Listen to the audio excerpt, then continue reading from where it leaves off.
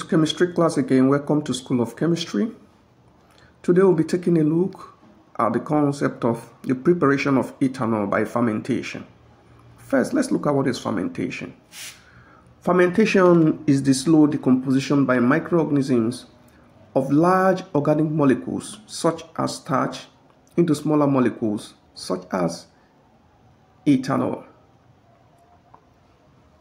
A common microorganism used in fermentation is yeast. It contains a variety of enzymes that bring about the decomposition of starch and sugars to ethanol. Now, production of ethanol, let's look at it from starchy foodstuff.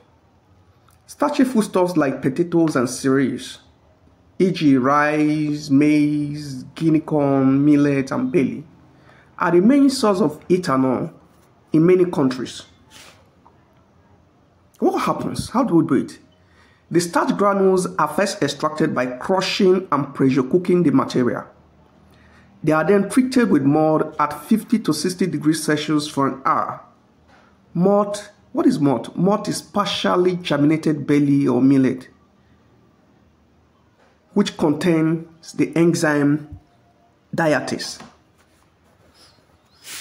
The starch is then converted by this enzyme into maltose we have the equation.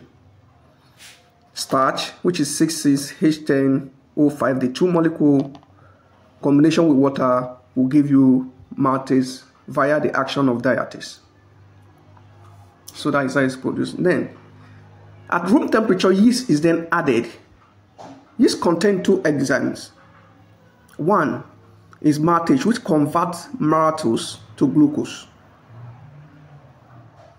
Let's look at the equation. The formula for maltose is C12H22O11. If you add water and maltose, it gives you glucose, which is C6H12O6.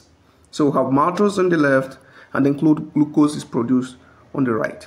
The second enzyme is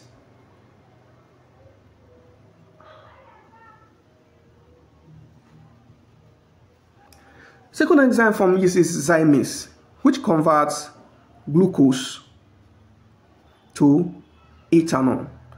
So ethanol and carbon dioxide is produced from glucose in the presence of what? Zymase. So zymase break down glucose and ethanol and carbon dioxide are produced in the process. So the two enzymes from yeast are what? Maltase and zymase.